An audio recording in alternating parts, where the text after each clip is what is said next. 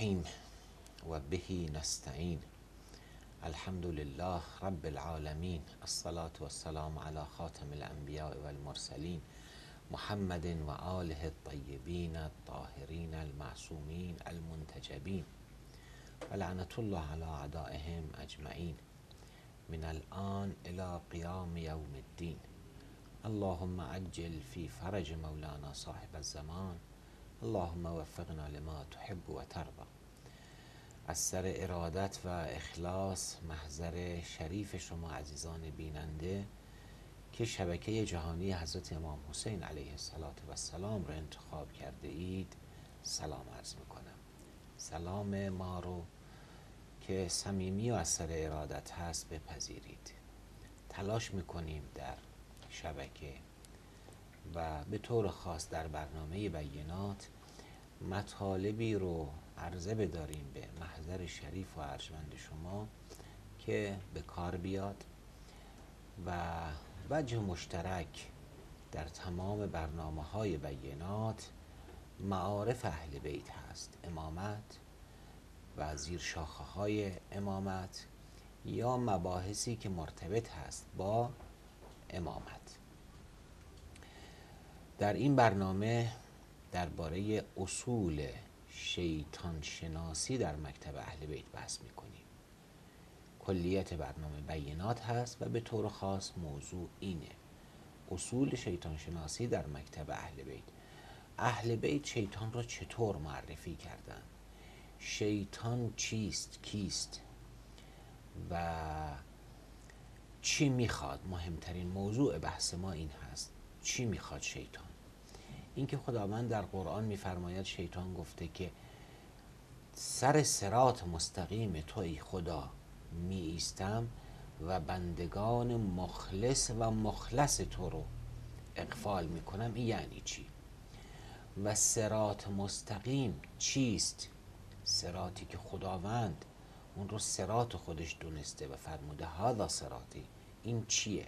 اینکه ما همش میگیم خدایا ما رو به سرات مستقیم هدایت کن. یعنی چه؟ این روایات که میگن سرات امیر المؤمنین همون سرات مستقیمه به چه معناست؟ شیطان با چه چی چیزی کار داره؟ خداوند وقتی شیطان رو معرفی می‌کنه در قرآن این معرفی چگونه هست؟ و مهمترین نکته این هست که خداوند در قرآن میفرماید که آدمیان دو گروه دو خطن بلا غیر حزب الله و حزب شیطان. حزب خداوند و حزب شیطان. حزب خداوند چیست؟ حزبهای شیطان یا حزب شیطان و زیر شاخه های اون چیست؟ این موضوع بحثی است که ما در این برنامه تقدیمتون می‌کنیم. عنوان فرعی برنامه به خاطر شریفتون باشه. اصول شیطان شناسی در مکتب اهل بیت علیهم السلام.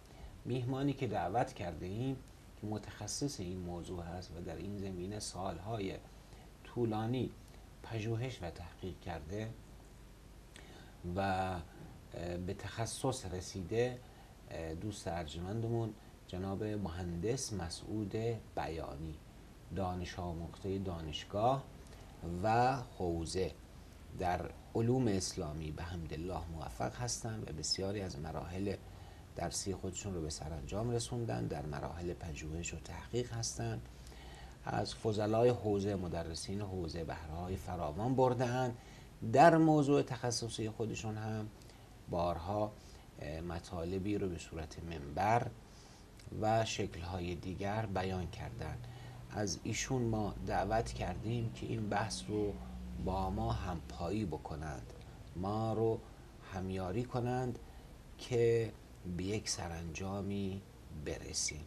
شیطان کیست و شیطان پرستی چیست و اهل بیت در این موضوع چگونه این خط رو معرفی کردن به ما و شیطان در برابر وظیفه‌ای که در بر خودش دیده همون ازلال و گمراهی چه می کند خب من از طرف شما ایزان بیننده و از طرف خودم محضر دوست ارجمندمون جناب آقای بیانی سلام عرض می‌کنم. آقا سلام علیکم و رحمت الله.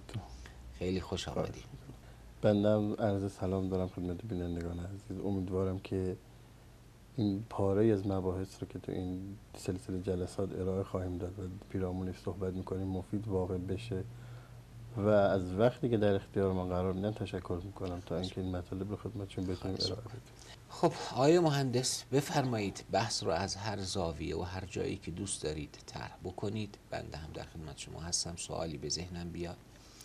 یا فکر کنم گمان کنم که به ذهن بینندگان بیاد. من از طرف اونا این سوال طرح می‌کنم و پیشنهاد میدم اگر موافق باشید اصول بحث رو طرح بکنیم. حالا در چند جلسه. و بعد کم کم بریم وارد بحث مصادیق بشیم. در خدمت شما هستم خب اگر کسی بخواد به تاریخ انسان ها توجهی داشته باشه نیم نگاهی داشته باشه متوجه این نکته میشه که تاریخ و تمدنهایی که ایجاد میشن از یک سلسله اصول و اتفاقات متحد الشکل دارن پیروی می‌کنن.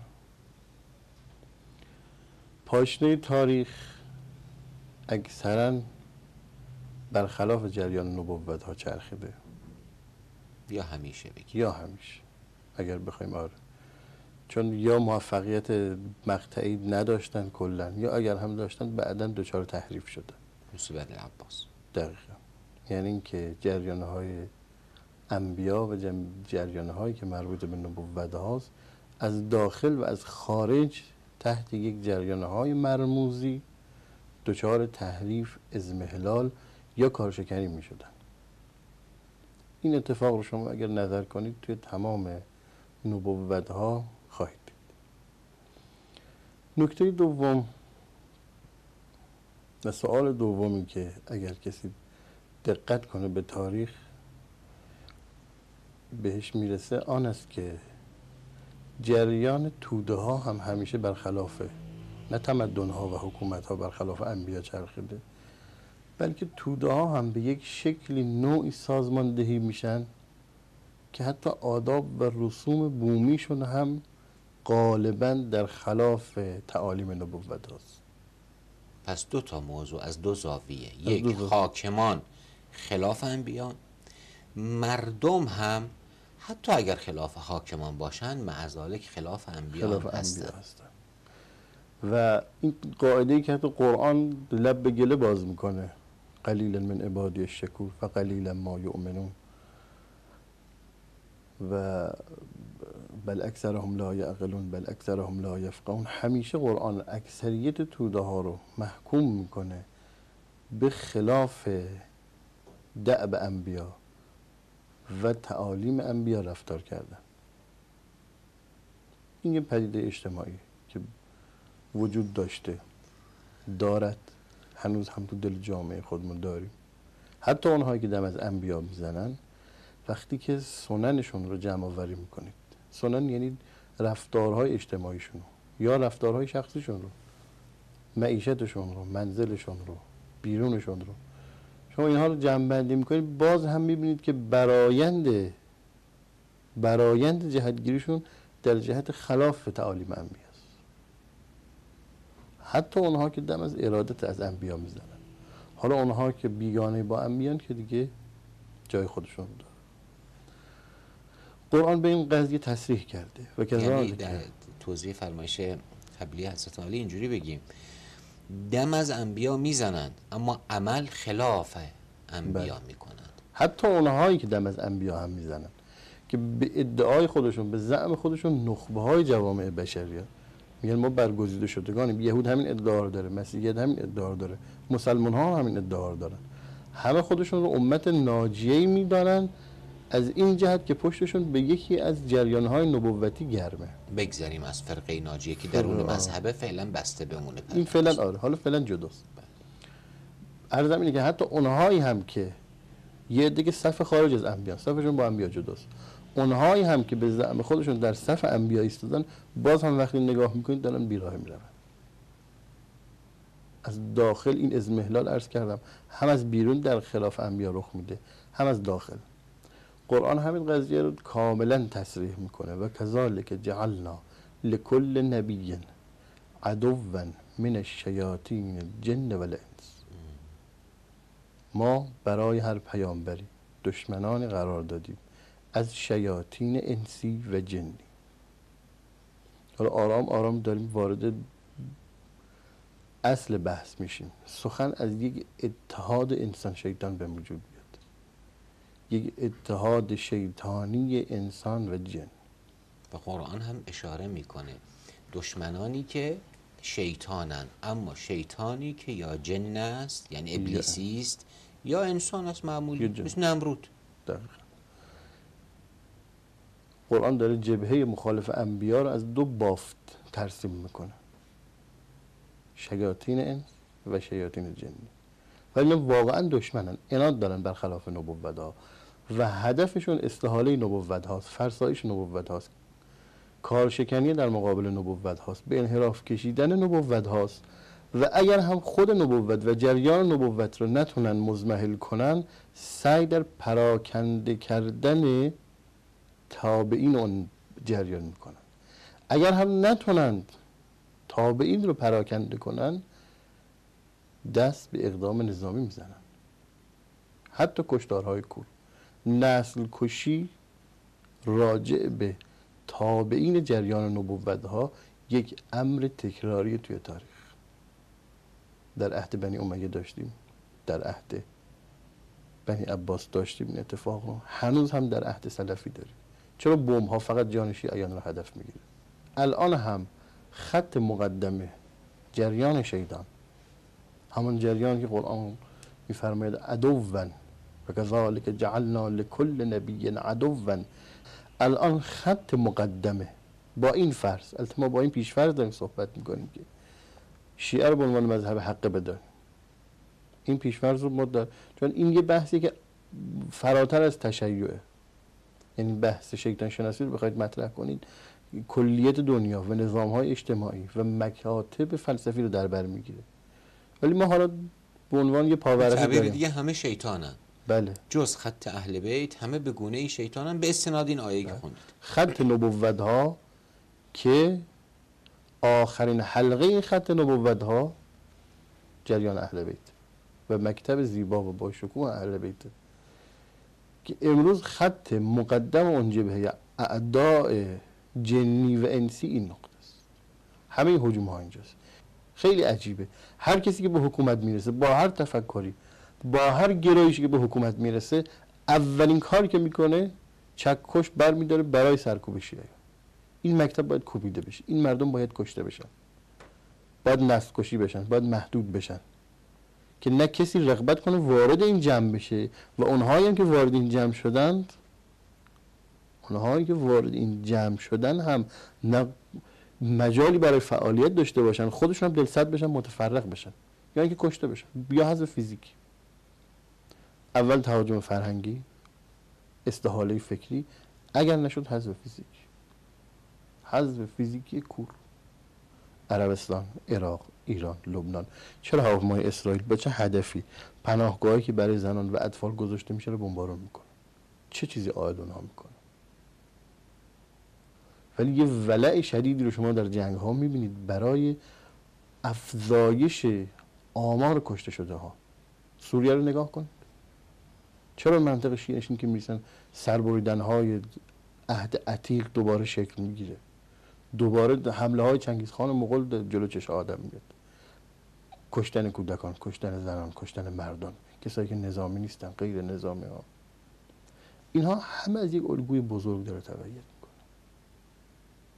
بناهای منصوب به نبوت ها باید پاک بشه. همین آل سعود می‌بینید که هر آنچه که مربوط به عهد پیامبره و مربوط به نشانه از وجود سنت پیامبر و مکتب پیامبر در این سرزمین داره حذف می‌کنه.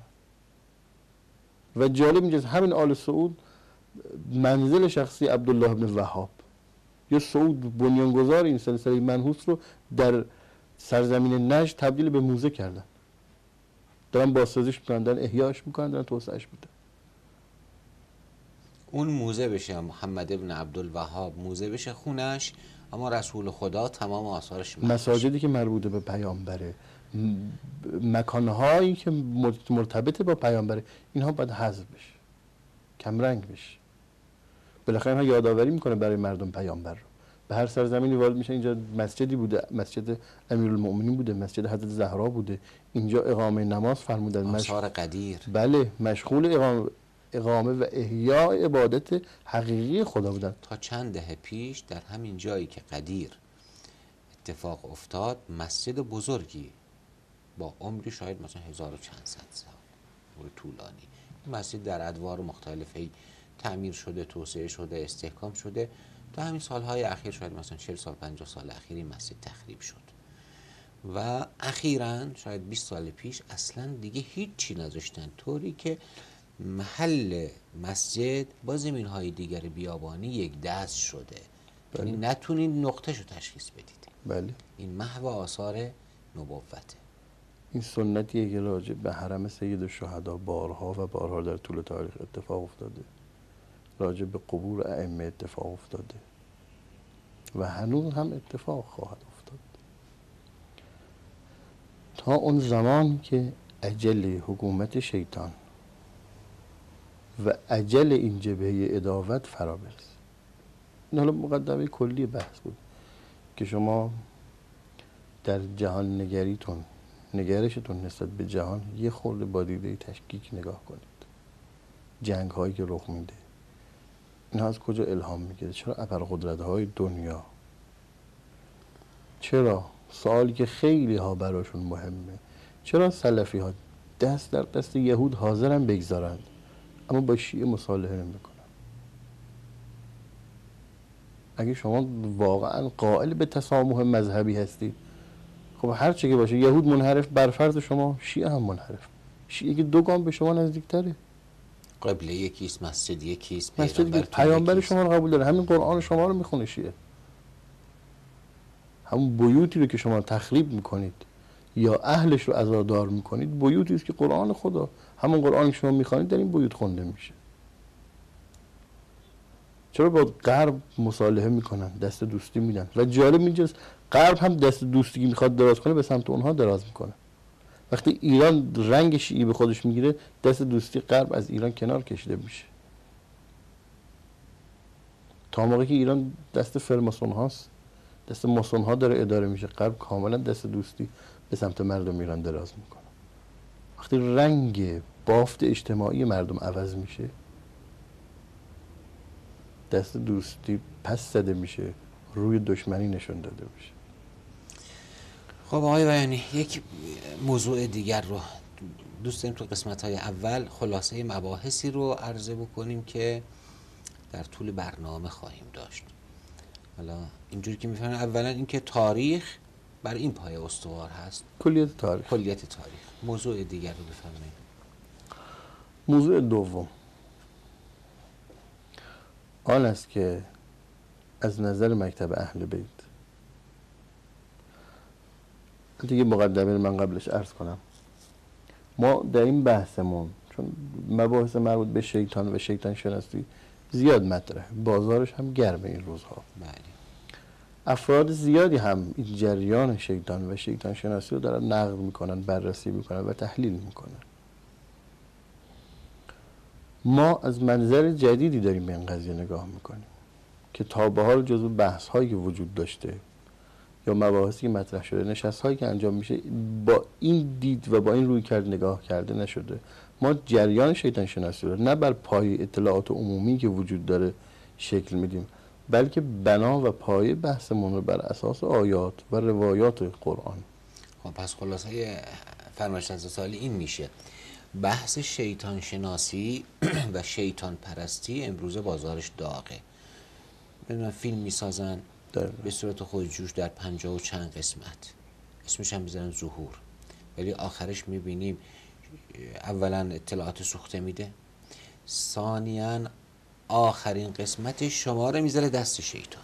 دوباره شما رو برمیگرده به بیننده میگه شما شیطان رو نپرست. اما به شکل دیگر شیطان پرستی رو تر یعنی یک جور اباهیگری مذهبی رو طرح می‌کنه و میگه خلفای اول دوم سوم چهارم همچون بالا. حق اونجاست. می‌بینم سمت باطل می‌بره. کتاب های دیگری که در جهان غرب نوشته شده یا اشاراتی داشته به دلار و اینجور مباحث یا اشاراتی داشته به مباحث شیطانی مختلف اما باز هم اون نقطه هوشیار کننده رو طرح نمی‌کنن. یا بهش نمی‌رسن یا فکر می‌کنن خط قرمزه. ما اینجا این کارها رو نمی کنیم تو این برنامه. یعنی برنامه ما مثل برنامه های دیگری که در سطح دنیا درباره شیطان پرستی و افشای شیطان پرستی عرضه شده نیست. برنامه, برنامه ما شکل دیگری است. که می‌خوایم بگیم که یه حزب شیطانی هست یه حزب الله. حزب الله حزب الله یعنی ولایت امیرالمومنین حزب شیطان یعنی هر چیزی غیر از ولایت امیرالمومنین ادامه بفرمایید. خب نکته اول که همین بود که ما از منظر آیات و روایات به جریان نگاه می‌کنیم. چون حقیقت مسلم آنجاست و هر آن چیزی که خارج از این محدوده هست علومی که خارج از این محدوده هست متاسفانه متاسفانه یا اطلاعات سوخته است که خود جبهه شیطان منتشر کرده که وای بر کسی که بر معلومات منتشره جبهه مخالف انبیا بخواد اطمینانی بکنه. و دوم اینکه این اطلاعات جنبه های گمراه کننده دارن. ما رو با یه سری از سطوح و لول های سوخته بحث مطرح می‌کنن و مواجه می‌کنن و ذهن ما رو درگیر می‌کنن که ما به لایه های بالاتر هیچ وقت فکرمون رسوخ پیدا نمی‌کنیم. ما بر قله های تعالیم اهل بیت میستیم و این قضیه رو نگاه می‌کنیم. کسانی که از پایین نگاه کردن همیشه در بین این کلاف موجود سردرگم بودن. بحث ما اصلا جایگاه نگاه کردنش تفاوت می‌کنه. ما از بلندای افق اهل بیت به این قضیه نگاه می‌کنیم. و در واقع ما نیستیم که دیگه نگاه می‌کنیم. اونچه که امام صادق می‌بیند اونچه که امیرالمؤمنین می‌بیند و اونچه که پیامبر و خدا در آیات قرآن دیدند و تبیین فرمودن ما از اون منظر می‌خوایم به قضیه نگاه کنیم. بحث سوم مقدمه سوم و در واقع توافق ماست تو این بحث. آن است که مباحث تکراری که موجوده. تو اینترنت هست می‌تونن دانلود کنن فیلم هاش هست سیدیاش هست. رد و بدل میشه مطالبش موجوده ایمیل میشه بعضا پخش میشه. ما از این اطلاعات موجود استفاده نخواهیم کرد. و این مباحث تکراری دیگه مطرح نمی‌کنه. یعنی این شیطان شناسی و شیطان پرستی موجود اصلا به این مباحث کاری به سمتش نمیریم. ما نگاهمون بر پایه اهل بیت. دقیقا. ما دعبمون و دل مشغولی ما اهل بیت هستن. و جز اهل بیت و قرآن ما دل مشغولی مهمی حداقل در تشخیص حقایق نداریم. شما می‌دونید که در روایت صحیح و سندی که شیعه و سنی برش متفقن حدیث زیبا و با شکوه سقلین پیامبر هدایت رو در دو نکته جمع می‌کنن. کتاب الله و اطرتی. فان تمسکتم بهما لن تزلو ابدا لن نفی ابد می‌کند. ابد خودش باز لفظ ابد خود لغت تأکید بر تأکید. تأکید بر ابدیت ابدیت. یعنی پیامبر این نفی رو اونقدر محکم این لسان پیامبره. ما ینتقا عن الحواس. پیامبری است که بر اسلوب زبان عرب بیش از هر کسی دیگه بخواهیم نگاه کنیم واقف است. دقیقا می‌داند چه دارد برای امتش می‌گوید. یعنی به تعبیر دیگه رسول خدا آمده کاری کند عکس زلالت. در حدیث حدیث علیه میفرماید لن تضلوا گمراه و گرفتار زلالت نخواهی شد. بله. این یک طرف. خب پیامبر آمده چه کنه؟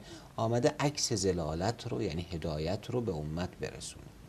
حالا آخرین ساعات و آخرین روزهای حیات حضرت هست. حضرت برای اینکه مردم به سمت زلالت نرن کارایی می‌کنه. درست. یکی همین حدیث ثقلین که البته از قدیم گفته شد در طول حیات رسول خدا فرمودن روزهای آخر هم تکرار فرمودن این یک. دو فرمودن برای اینکه لن تولو ابدا به من کاغذ و دوات بدید. بله. اکتب لکم شیئا لن تولو بعدی. بله. تولو باز کلمه زلالت هست.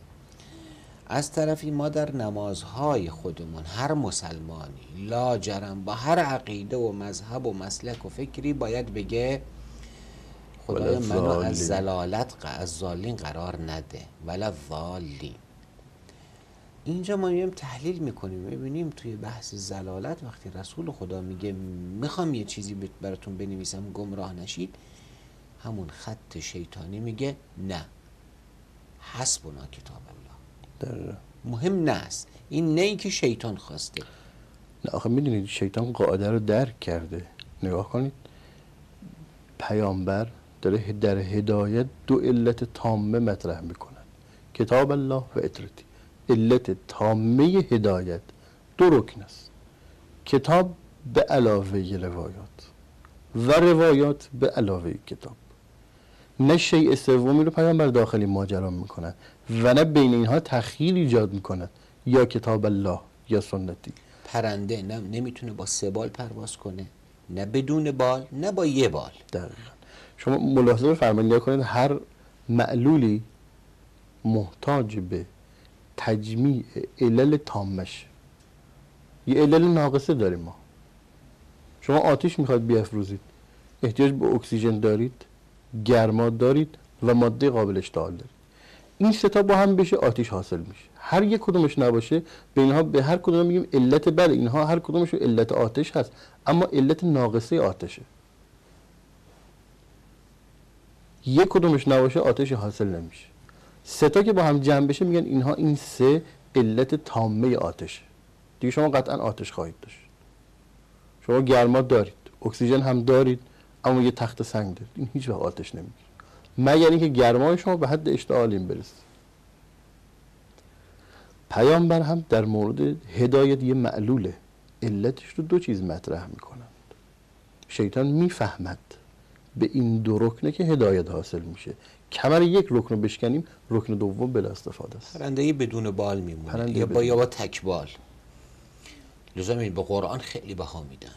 زیبا می‌خوانند حفظ بله. می‌کنند تجلیل می‌کنند زیبا چاپش می‌کنند و به گفته های قرآن اونجایی که البته ربطی به بال دوم نداشته باشه عمل می‌کنن بال دوم نباید بیاد. نماز اول وقت رو روزه بگیرن. این نمازهای مستحبی تراویحشون و فلاشون که دیگه فراتر از قرآن رفتن. همه رو انجام میدن. مهم اون بال دومه نباشه. بله. این اصل چهارم رو ما از این بحث می‌فهمیم که جریان شیطان و شیطان شناسی از خود نبوت ها هم بر علیه نبوت ها استفاده می‌کنند فرعون زیاد جواب نمیده اما سامری جواب میده. هرچی زور زد فرعون نتونست. نتونست. این حالا بین بحث مطرح می‌کنیم که جریان های شیطانی به این باور رسید. حتی دموکراسی امروزه دنیا به این باور رسیدن که فطرت مردم متمایل به جریان نبوت هاست. چه باید بکنیم؟ جریان و تعالیم نبوت ها رو شبیه سازی کنیم. در جریان های خودمون شبیه سازی کنیم. به نظام فئودالیته اروپا رو تبدیل به رنسانس بکنیم. رنسانس رو تبدیل به دموکراسی بکنیم. بذار دموکراسی بلند از دلش. مهم نیست چطور اداره میشه. مهم آنگونه است که ما می‌خواهیم اداره بشود. بحث حقوق بشر رو مطرح کنیم. بیاید ما هم دم از عدالت بزنیم. آره یه زمان تاقیگری فرعونی بود. فایده نمی‌کرد جواب نمی‌داد. اعتراض بلند می‌کرد. بیاید ما هم دم از عدالت بزنیم. بیاید ما هم انفاق کنیم. جلوی امام صادق بیاییم. مکاتب صوفیانه رو رو به راه کنیم. بله امام صادق زهد داره. ما هم زهدی شدیدتر و یک زهد اه، اغراق آمیزتری رو نشان بدیم نسبت به امام صادق. خرقه بپوشد لباس پاره بپوشد لباس جنده و ژولیده بپوشد. همان تعالیم رو به شکل اغراق آمیز استفاده کنیم برای که نبوت ها رو بکوبیم. ما از سلاح نبوت ها بر علیه نبوت ها استفاده کنیم. این یه استراتژی که در طول تاریخ وجود داشته و جبهه شیطان ازش بهره برده. نکته بعدی آن است که ما تفکر عمومی که داریم باوری که مردم عوام و خواص شیعه علماء شیعه حتی. تا به حال در طول تاریخ نسبت به شیطان و جریان شیطان داشتن دائما حول محور اقواعات شخصی میگشته شیطان اقوا می‌کنه شیطان فریب میده شیطان وسوسه می‌کنه ولی آن چیزی که در دل روایات چون ما ذهنمون با این الگو آشنا بوده. و خب الگوهای بالاتر جریان شیطان رو ندیده بودیم یا درک نکرده بودیم. امروز واقعیت مطلب آن است که خود جریان شیطان به یه سری به لحاظ یه سری مساله که می‌خواست مجبور بود یک سری از اطلاعاتش رو نشت بده بست کنه این راز بزرگ رو از پس پرده به بیرون انداخت. ما 20 سال پیش 30 سال پیش 40 سال پیش خیلی از روایات رو نمیفهمیدیم راجع به شیاطین. راجع به حضورشون راجع به صحبتهاشون. برای همین غالبا مباحثی که راجع به شیاطین مطرح می‌شد رو ما به وسوسه شیطان و وسوسه شیاطین ترجمه می‌کردیم. اما امروز راز از پرده بیرون افتاده. و با علم به این راز ما روایت رو خیلی ساده تر می‌تونیم و آیات قرآنی که وجود داره رو ما خیلی راحت تر می‌تونیم ترجمه کنیم. این نکته بعدی یعنی در ترجمه آیات و روایات ما می‌خوام یه نگاه جدید داشته باشیم. خود آیات و روایات همون اصولی است. و به این اذعان کنیم که تا به حال در برداشتمون از آیات و روایات دچار اشتباه بودیم. چرا؟ چون ذهنمون و قالب ذهنی ما گنجایش چنین مباحثی رو نداشت. گرچه اهل بیت بیان فرموده بودند تعلیم داده بودند. سخن از جلساتی می شود که شیطان در آنها حضور پیدا می کند. روایاتش هست در تاریخ آیات قرآنش هم هست. و اذا لقل در مورد منافقین امت پیامبر. حالا در بحث فعالیت های شیطان که یکی از پرده های بحث ماست در واقع. فعالیت های شیطان در تاریخ اسلام به همین آیه دوباره برمیگردیم که و اذا لقوا الذین آمنوا قالوا آمنا و اذا خلوا الی شیاطینهم قالوا انا معکم انما نحن مستهزئون قرآن داره از یک مکالمه رو در رو صحبت می‌کنه. کسانی که از یه طرف به مؤمنین میگن ایمان آوردیم کسانی که وقتی خلوت می‌کنن با شیاطینشون. میگن ما داشتیم مسخرهشون. انا معکم انما نحن مستهزئون. ما, همیشه این آیات نمیفهمیدیم. طول تاریخ نگاه کنید تفاصیل گذشته رو. وقتی تفسیر می‌کنیم چون ذهنمون و قالب ذهنیمون گنجایش چنین مفهومی نداشت که عده بله یه جلسه شبانه خلوتی با شیاطین داشته باشن. نمی گنجید در ذهنمون. با اینکه روایتش هم کنارش بود. در دارالندوه در ماجرای لیلت المبید پیرمردی در مجلس شرکت می‌کنند و با اون مشاوره می‌کنند و از اون مشاوره می‌کنند شما تا کسی رو نشناسید قطعا اون رو مورد مشاوره خودتون قرار نمی‌دید. اون هم دارید برای قتل کسی نقشه می‌کشید. آیا باورتون میشه غریبه وارد بشه؟ شما ازش مشاوره بخواید بدونی که نشناسیدش؟ ما می‌خوایم فلانی رو بکشیم چه کنیم؟ خیلی نکته لطیفیه. اصل قصه رو من بگم. زمانی که خواستن رسول خدا رو بکشند در مکه بت پرستا جمع شدن که چیکار باید بکنیم؟ بالاخره پشتیبان داره بنی هاشم هستن بنی عبدالمطلب هستن اینا همه هستن. یک کسی آمد توی دارون ندوه دارون ندوه محلی بوده که دقیقا به مسجد الحرام باز می شده یک سازه بود یک ساختمان اتاقی بود. بزرگان قریش جمع شده اونجا صبح تا شب کارشون اونجا بود. مثل مرکز حکومتی بود. یه پیرمردی آمد حالا به تعبیر روایت با ریش قرمز. آمد و نشست اونجا و پیشنهاد داد بهشون. گفت شما که می‌خواید محمد رو بکشید. صلی الله علیه و آله. من یه راهی نشونتون میدم. چه راهی؟ گفت بابا شما الان میترسید از انتقام طایفه؟ ما یه کاری می‌کنیم طایفه نتونه انتقام بگیره. هر قبیله یک نفر. بفرستید به عنوان قاتل. چل قبیله ای چهل نفر. میفرستید حمله می‌کنید پیغمبر رو می‌کشید. روز بعد اینا می‌خوان خونخواهی کنن. از کی خون خونخواهی کنن؟ خون گم میشه. البته در فیلمی که ساخته بودن رساله محمد رسول الله ترجمه هم شد این یه جعلی توش بوده دستکاری کرده و این طرح من است. این جمله ابو سفیان بود کی بود؟ در حالی که نه این طرح شیطانه. امام صادق میفرمایند و در تاریخ داریم کامل. حتی رسول خدا هم فرمودن این رو. که این خود شیطان بود آمد سراغشون. بله. به تعبیر حضرت عالی در یک موضوع بسیار مهمی که اون قتل یک نفر هست که دعوی نبوت کرده مگه ما می‌تونیم غریبه راه بدیم؟ اگر راه بدیم می‌تونیم بشه اجازه بدیم طرح بده؟ چه میشه که غریبه راه, بده- راه پیدا کنه؟ بیاد تو. و غریبه بیاد شما موضوع بحث رو عوض نمی کنید یعنی دارید راجع به قتل نفر صحبت می‌کنید. غریبه اومد بدونی که آه غریبه اومد نمیشناسیمش. یه پیر مردی از نجد آمد. و جالب اینجاست این حضور رو ما در سقیفه می‌بینیم در روز قدیر می‌بینیم. این استعاره نجدش رو داشته باشید در طول بله. زمان. چه خواهد شد. قرن و قرن شیطان شیطان بله قرن شیطان. شیطان یه علقه به این سرزمین نجد داره. آره. و احیا اون گویا امیدی به این سرزمین نجد داره که در واقع امیدش هم به نتیجه میپیوندد حضرت به تعبیر یکی از این صحاح بوده فکر کنم بخاری بوده یا مسلم. روایت اینه همون اول روایت کلش یک سطر و نیمه. قام خطیبا رسول خدا به خطبه ایستاد. تعبیر قام خطیبا در روایات معمولا یعنی سخنرانی. آقا بله. سخنرانی فرمودن. جالبه این قام خطیبا یک سطر یک سطر و چند کلمه بیشتر بله. نبود. رسول خدا اشاره کرد به خانه عایشه. گفت ان منها هنا. آره ال- الفتنه منها هنا یا ان منها هنا تخرج الفتنه تخرج قرن آه، شیطان یا قرن الشیطان. بله حال تردید از من. دوست روایت با هم من تو ذهن دارم. و نشست اولا چی گفت رسول خدا؟ اینکه دیگه خطبه نمیخ- نمی‌خواد که. چی بود بعدش حذف کردید؟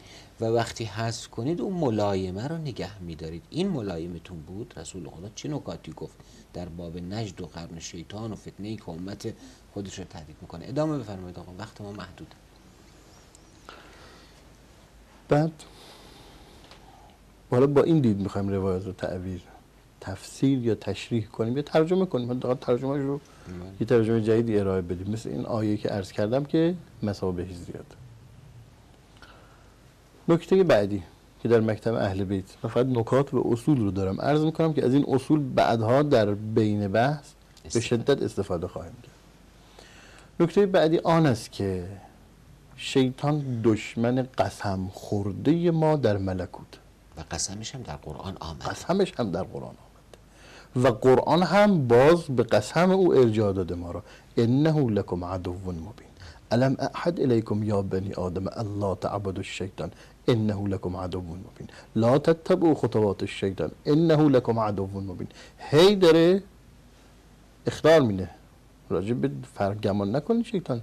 بیکار نشسته. همه فکر می‌کنن بله همین اقواعات روزمره است که شیطان برای ما داره. نه.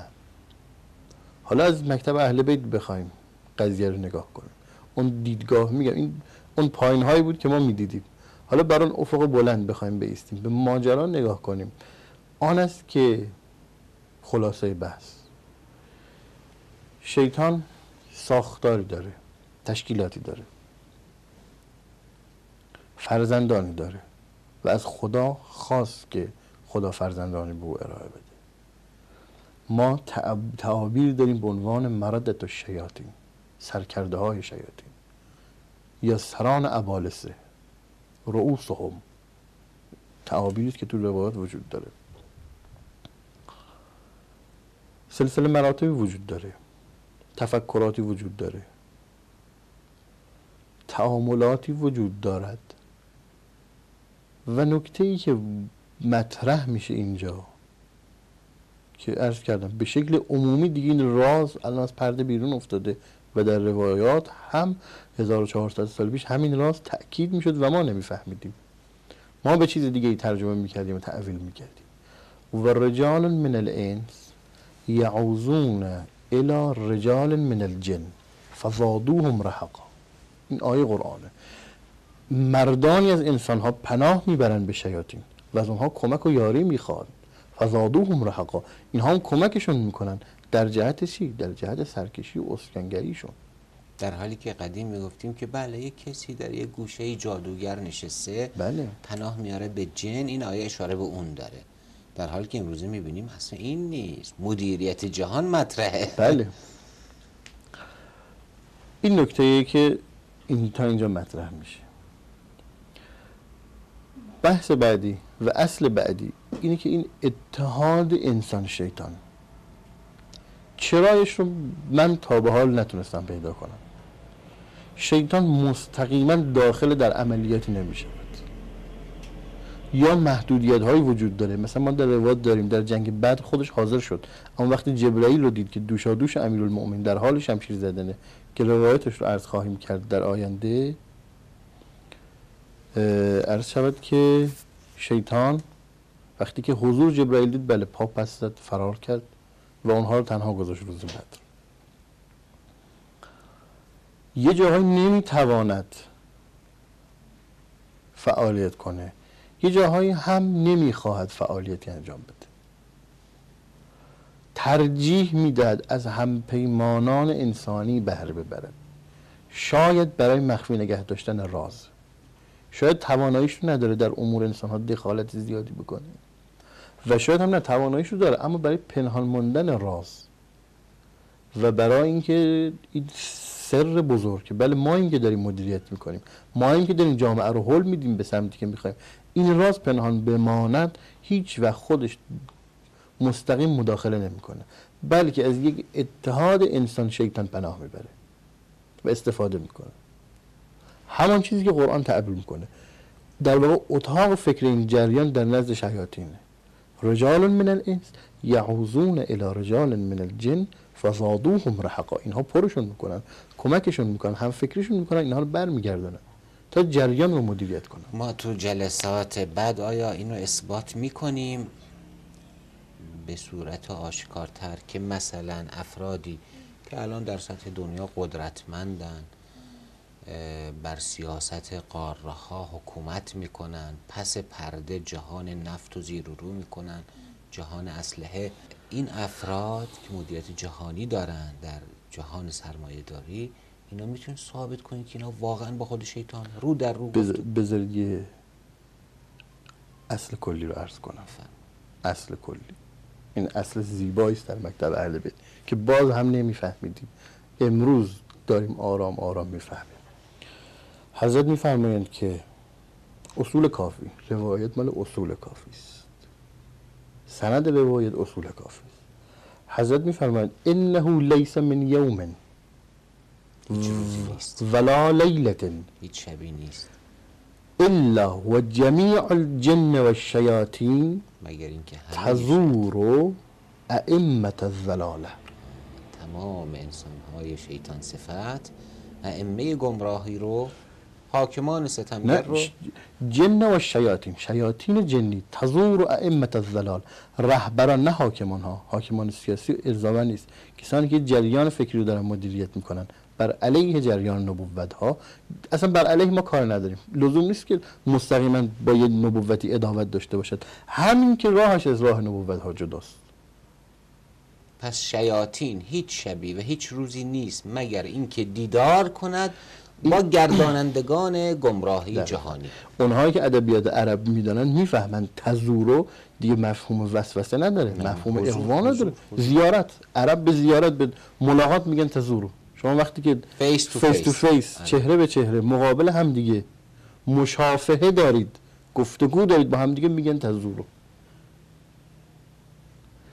حضرت میگن نه تنها این پیمان وجود داره این رابطه وجود داره یعوزون الی این خبر از این اتحاد میدن بلکه میفرماید این جلسات هم فکری و این اتاق فکر ائمه زلال حضرت دارن یه الگوی کلی ارائه میدن. ما به رهبران سیاسی کار نداریم به رهبران اقتصادی کار نداریم. هر اون کسی که خارج از مکتب انبیا و نبوت ها که امروز میراث این نبوت تشیع اصنا عشری است که ثابت خواهیم کرد این موضوع رو به اون خدا هر شب جلسات هوندیشی وجود دارد. نه شب ها شب و روز.